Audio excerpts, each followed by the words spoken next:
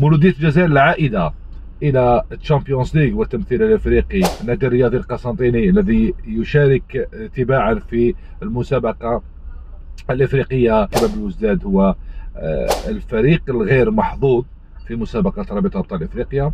اتحاد العاصمة المتوج بكأس السوبر وكأس الكونفدرالية في الموسم قبل الماضي. هل يمكن أن يعود إلى فرض نفسه في هذه المسابقة؟ له حظوظ كبيرة. السلام عليكم. تحية طيبة. مرحبا أهلا وسهلا بكم. مرحبا بكل من يتابعنا. أردت أن أتحدث عن القرعة التي جرت منذ لحظات فيما يخص قرعة رابطة أبطال إفريقيا وأيضا قرعة كأس الكونفدرالية. طبعا مع التمثيل الجزائري المتواجد من خلال أربع أندية شباب قسنطينة نادي رياضي قسنطينية واتحاد العاصمة في كأس الكونفدرالية مولودية الجزائر وشباب الوزداد في رابطة أبطال إفريقيا. لكن من خلال هذه القرعة هل يمكن أن نقول شباب الوزداد هو آه، الفريق الغير محظوظ في مسابقة رابطة أبطال إفريقيا؟ مولودية الجزائر العائدة إلى الشامبيونز ليغ والتمثيل الإفريقي في أغلى المسابقات الإفريقية هل يمكن لها أن تقول كلمتها بعد ما اليوم تعرفت على منافسيها النادي الرياضي القسنطيني الذي يشارك تباعا في المسابقة الإفريقية كأس الكونفدرالية أيضا. هل له حظوظ كبيرة. اتحاد العاصمة المتوج بكأس السوبر وكأس الكونفدرالية في الموسم قبل الماضي هل يمكن أن يعود إلى فرض نفسه في هذه المسابقة؟ وخاصة بالنسبة لشباب الوزداد هل يمكن أن يتجاوز هذه العقدة ربع النهائي؟ لأنه الموسم الخامس يشارك شباب الوزداد في مسابقة رابطة أبطال إفريقيا.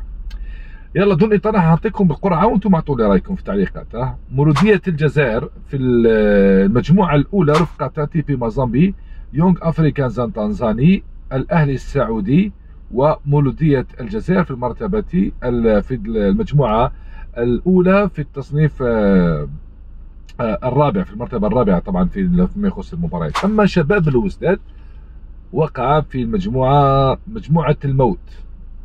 للأسف ومجموعة صعبة ومجموعة فيها الكثير من الحسابات. مع حامل درع البطولة في الموسم الماضي مع نادي القرن الأهلي المصري شباب الوزداد أورلاندو بيرات آه، أيضا وبالإضافة إلى استاد آه، أبيجون ملعب أبيجون من كوت ديفوار هي المجموعة اللي كانت فيها شباب بلوزداد اللي فيها الأهلي المصري وفيها أيضا أورلاندو بايرتس متعود يشارك أيضا آه، ملعب أبيجون. يعني ليس بالقوي لكن آه، مع الأهلي المصري ستكون مباريات صعبة لشباب بلوزداد بإسلام سليماني وب خبرة وتجربة للموسم الرابع مع صعوبة في آه، بداية البطولة. هل يمكن لشباب الوزداد أن يفرض نفسه في هذه البطولة فيما يخص مولودية الجزائر؟ العائد إلى المسابقة الأفريقية مثل ما قلت سيواجه تيبي مازامبي واحد من عمالقة القارة الأفريقية والآن تراجع شوية.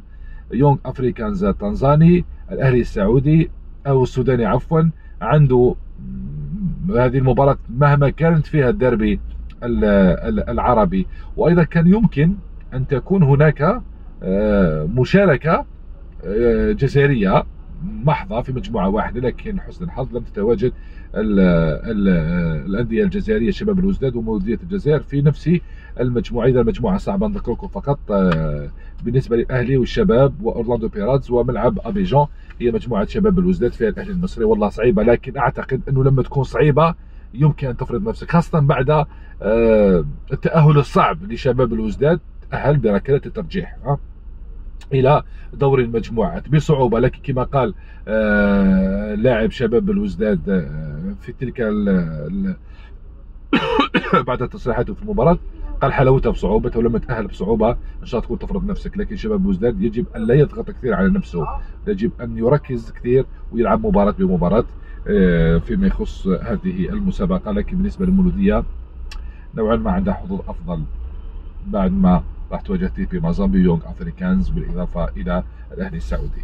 إذا تكلمنا عن المسابقة كأس الكونفدرالية اتحاد العاصمة يدخل في المجموعة الثالثة فيها اسيك ميموزا من كوت ديفوار فيها آ آس سي جاراف من السنغال أورابا يونايتد من بوتسوانا هي مجموعة اتحاد العاصمة في حين آه، مجموعة آه، النادي الرياضي القسنطيني نادي سيمبا التنزاني نادي صفاقسي التونسي النادي الرياضي القسنطيني و اف سي برافوس دو ماكيس من أنغولا. هي مجموعة انغولا نذكركم فقط بمجموعة شباب قسنطيني نادي الرياضي قسنطيني سيمبا التنزاني له باع في هذه البطولة النادي السابق لعبد الحق بن شيخة ونادي صفاقسي التونسي يعني ديربي آه، عربي مع تونس و اف سي برافوس دو ماكيس الانغولي طبعا المباريات آه، في كلتا المسابقات ستنطلق بنهاية نوفمبر وتستمر حتى منتصف آه، جونفي الدور ربع النهائي سيبدأ في نهاية مارس ويستمر حتى شهر ماي 2025 وصول إلى المباراة النهائية. طبعا البرنامج فيما يخص المباريات. نذكركم سينطلق بنهاية نوفمبر ويستمر حتى منتصف جونفي دور ربع النهائي سيبدأ في نهاية مارس ويستمر حتى آه، شهر ماي 2025 لأنه بعد ماي إلى غاية مارس راح يكون هي هي آه، فترة للعب آه، كأس أمم إفريقيا للمحليين الشان الذي قررت الاتحادية الجزائرية أن لا تشارك في هذه المسابقة بسبب ارتباطاتها في تقديرها وأيضا من أجل الاعتناء بالأصناف الشابه المباراة النهائية لم يحدد موعدها بعد. ثم كمتابعين كأنصار لنادي الرياضي القسنطيني وكأنصار اتحاد العاصمة وأنصار لمولودية الجزائر وأنصار لشباب الوزداد وش رأيكم في هذه القرعه؟ هل ستكون منصفة لأحد الأندية أم أنها صعبة؟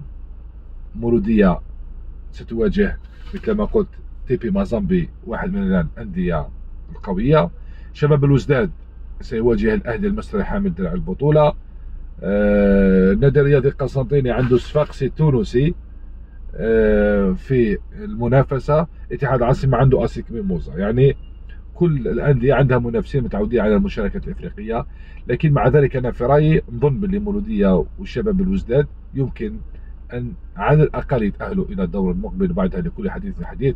وبالنسبة للنادي الرياضي القسنطيني والاتحاد العاصمي يملكان من الخبرة ما يملكان لاجل أن تكون لهم كلمة في المسابقات كاس الكونفدراليه ثم كمتابعين وش رأيكم؟ أعطوها لنا في تعليقاتكم الله يخليكم. شكرا جزيلا.